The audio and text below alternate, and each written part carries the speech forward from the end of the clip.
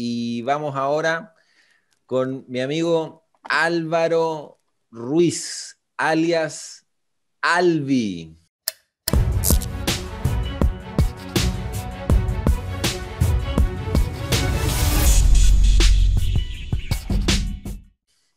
¿Cómo estamos, Albi? Hola, hola. Oye, muy agradecido por la invitación de estar aquí compartiendo. Eh, bueno, yo conocí al Agustín el año 2017, si mal no recuerdo. Eh, a mí siempre me ha gustado tomar cursos y estar aprendiendo. Y en uno de esos cursos que tomé conocí al Agustín y yo lo veía que llegaba ahí con su, con sus apuntes de marketing digital. Yo en ese, en ese tiempo era un... No sabía nada, la verdad, al respecto, pero me llamaba la atención.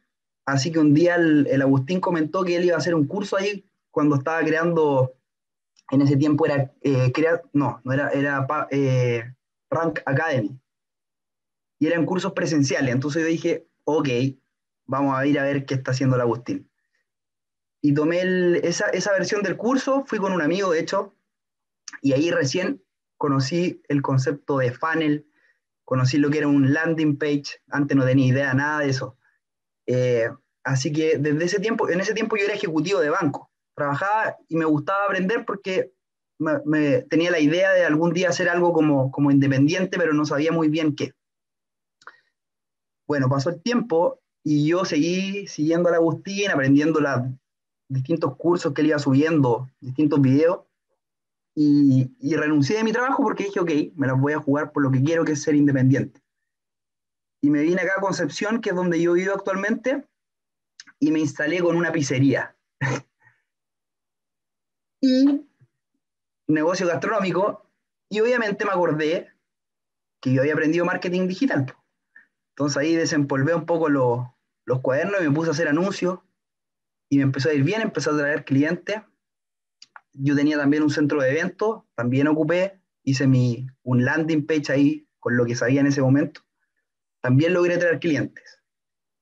Pero ya el año pasado eh, yo me asocié con, hace como un año y medio, me asocié con, con, un socio mío que es coach y que él vendía, él creó una metodología, metodología ágiles, y él me dijo, oye, así que tú sabías hacer marketing digital. Yo le dije, sí, la verdad, tomaba un par de cursos y me dijo, ok, montemos un embudo de venta.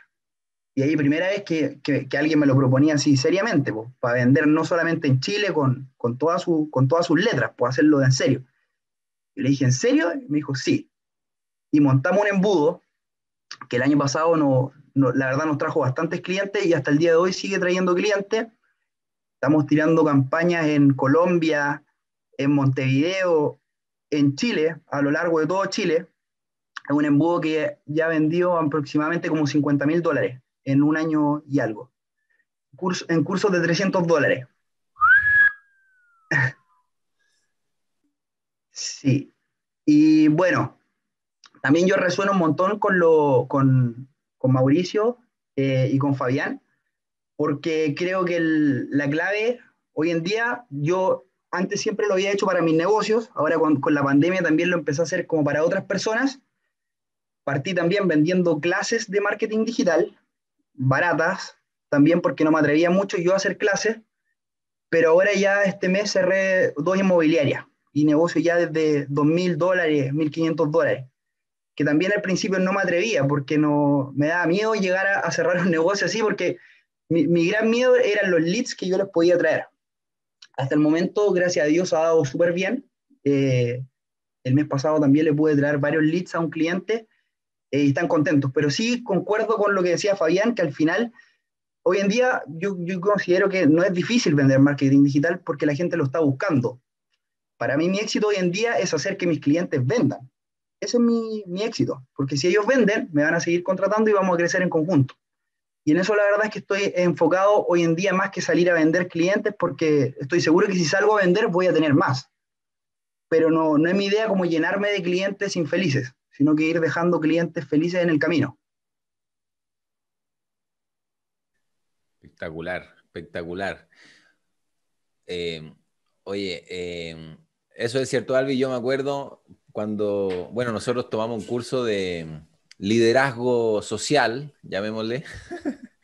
Eh, y mm, éramos compañeros del, del curso de liderazgo social y, y súper bien, pues ahí nos conocimos, nos hicimos amigos de parranda, de todo. Y yo me acuerdo que tú estabas trabajando en el banco y después la pizzería, la organización de los cumpleaños infantiles.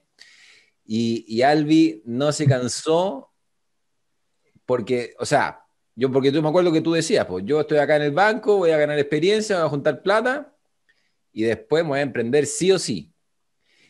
Y eso lo tenía claro desde el principio o sea, ese era tu plan, no era que, ay, que estoy trabajando en el banco porque, porque es lo que el, viento me llevó, ni nada de eso. Entonces, claro, desde el principio. Y nada más que dicho y hecho. Entonces, de ahí el emprendimiento, tuviste esta experiencia, alguna funcionó en mayor o menor medida, no sé, y ya de alguna forma estás como más, eh, como fijo en un negocio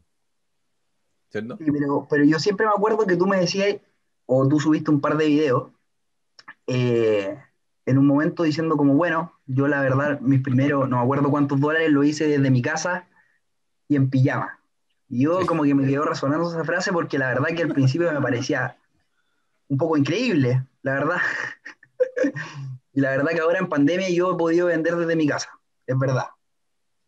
Eh, es verdad, lo puedo, decir que, pasan esas cosas. Pero sí hay que ser perseverante y obviamente cuidar a los clientes y, que crezcan ellos.